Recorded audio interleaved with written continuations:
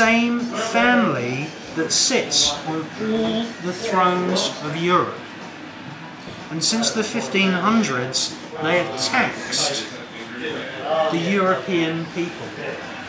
And tax is the main game in town. Tax does not exist merely to upkeep your country, to pay for schools, to pay for hospitals. In actual fact, if you really sit down and you work out how much tax they're taking, officially, in income tax every 12 months, they take 660 billion pounds in income tax every 12 months from the British people. Now there's 337 million people in Europe. There's 67 million roughly in Britain. Okay, we're one of the densely, most densely populated countries in Europe.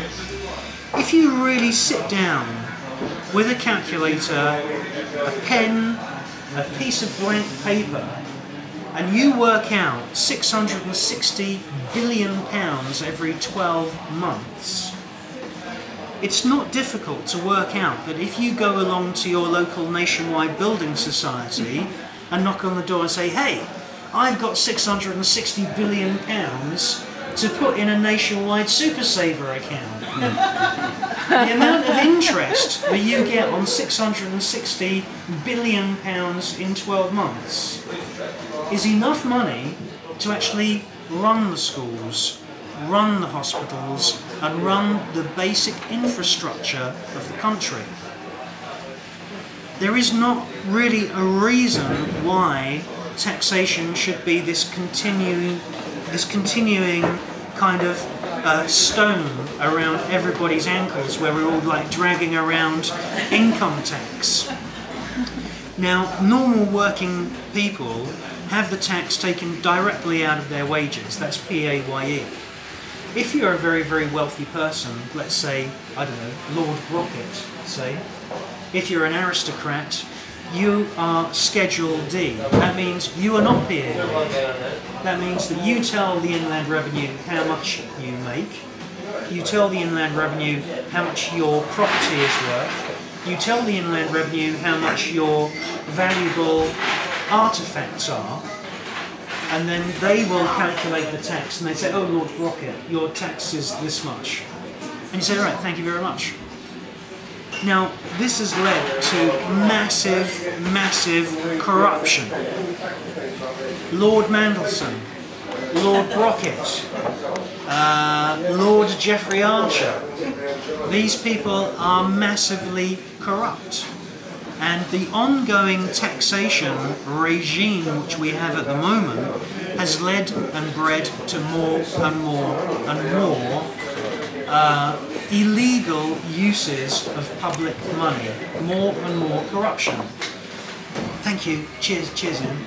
And just, just to give you one example, um, the day before, September the 11th, 2001, there was a photo opportunity in a press conference with Donald Rumsfeld. And he was under a bit of pressure from the US press, and the US press had a question, and it was this. Why did three accountants from the Pentagon resign their jobs and go public?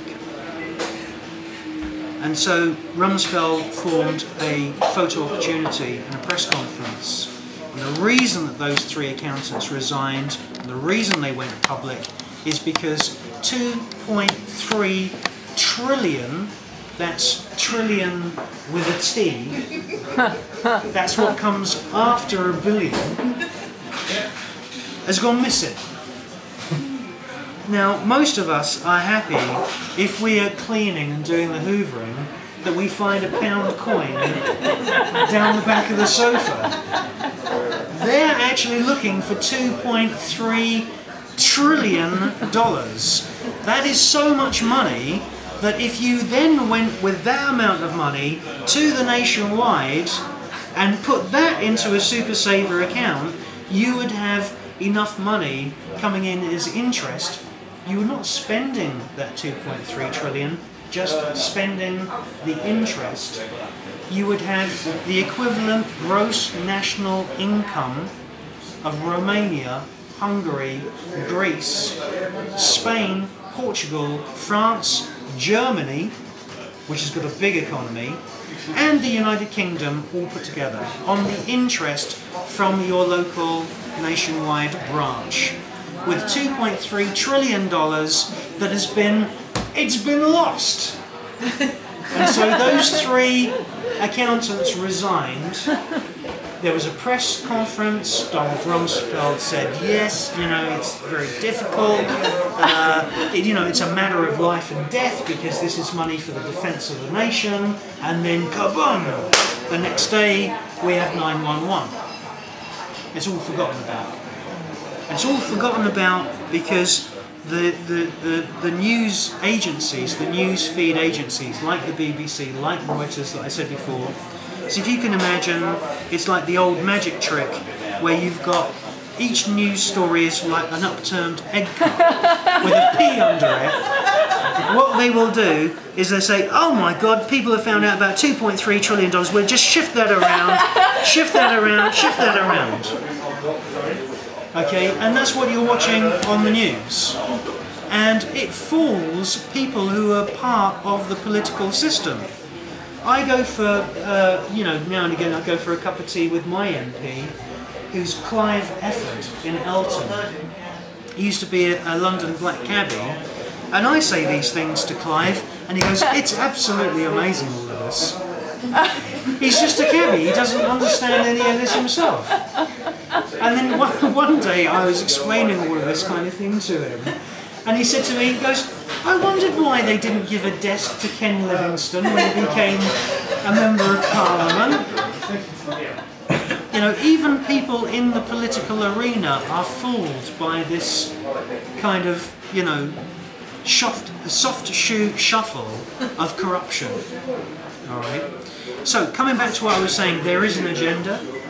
Nothing that you're seeing is happening by accident. Nothing that you're seeing is an accidental message. None of it. Everything that you're seeing is either there to distract you away from what's really important, or it's a kind of smudge and fudge situation, like we saw with Gareth Williams, the MI6 guy, who the police then smeared his character, saying, well, you know, we don't know what he was doing at night. He could have been, you know, sort of uh, going out with male prostitutes and all this kind of thing.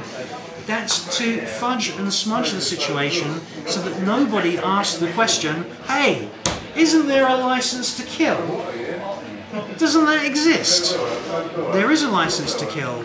People in the British military intelligence services have licenses to assassinate. And these assassinations are the result of very, very careful planning. They have folders and research dossiers on every single leader in the world.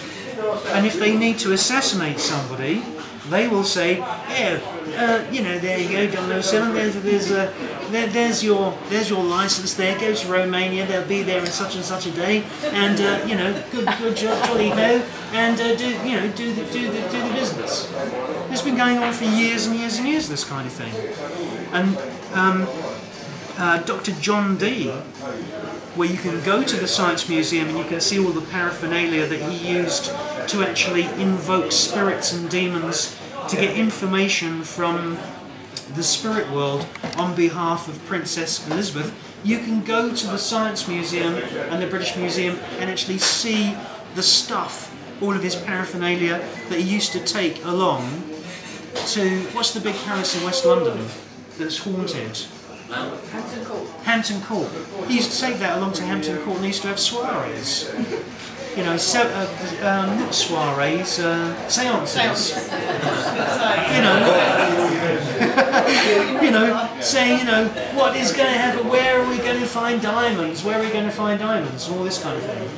That was really going on, and to a certain extent it's still going on. Um, yeah, now, to put into a nutshell in a in a pub like this with a very limited amount of time to speak.